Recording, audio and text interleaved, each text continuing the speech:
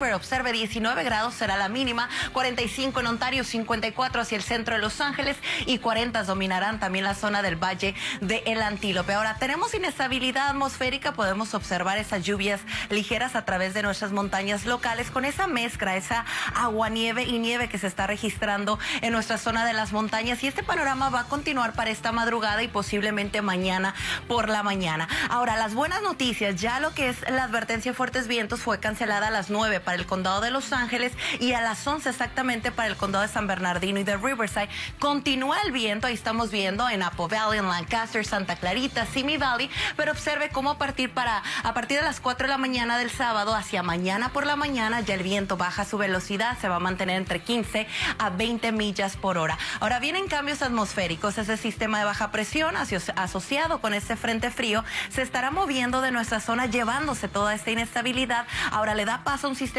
todo lo contrario de alta presión que va a hacer que el viento ahora gire desde, los, eh, desde las montañas hacia el interior y esto va a estar permitiendo que para nuestra siguiente semana laboral las temperaturas alcance hasta 89 grados en algunas áreas, pero el fin de semana nos vamos a mantener con esos 60, 70 grados. De hecho, ahí estamos viendo 70 para Fontana, 71 para San Fernando, 64 para Santa Mónica, 69 para Pambreo y observe el cambio en las temperaturas, cómo van a empezar a aumentar a partir del domingo 76, 80 vamos a estar disfrutando para lunes y para martes y de hecho ese panorama se va a mantener también para la ciudad de Riverside donde las temperaturas casi llegarán a los 90 grados para lunes y también para martes. Yo soy Michelle Trujillo, nos vamos a una pausa pero regresamos.